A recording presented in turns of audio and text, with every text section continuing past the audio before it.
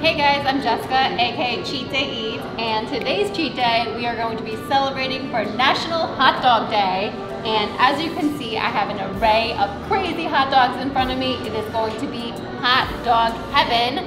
We are at Callahan's in Norwood, New Jersey, and they have two different size hot dogs. They have a nine inch, which is the original, and then they have the super size, which is over a foot long. This thing is crazy. So, now you can see that we're not just going to be eating any old hot dog. We got the mustard and ketchup, but that's a bore. We got things like mac and cheese, and we even got fries covered in cheese and hot dogs. So let's start to dig in. They have a cream cheese infused with pickles and topped with everything bagel seasoning. Wow. That might be my favorite so far. Bacon on a hot dog I'm not sure I haven't done that before. And then with the peanut butter, it's like an Elvis, right?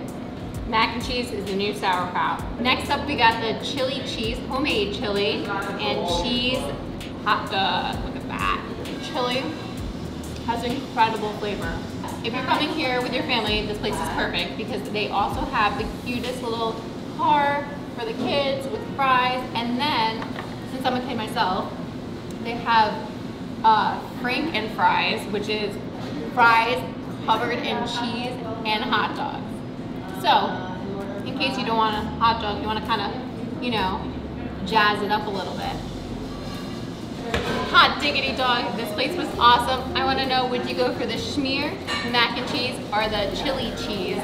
Either way, they were all awesome, and I want to know how you're going to be celebrating National Hot Dog Day.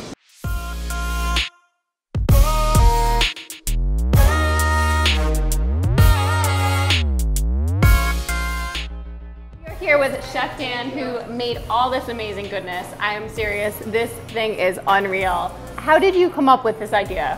So I was coming up with summer toppings and I just wanted to do something that most people wouldn't think would go on a hot dog. I personally have had cream cheese on a hot dog before, but literally just like globs of cream cheese and like pepperoni and stuff. Ooh. And I actually like it, but I know most people haven't heard of that before. So I'm like, what can I incorporate with cream cheese that would help gravitate to a hot dog? Pickles.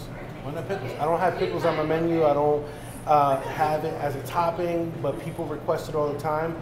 But mm, let's try to spin it where we incorporate the pickles into the cream cheese and fluff it up.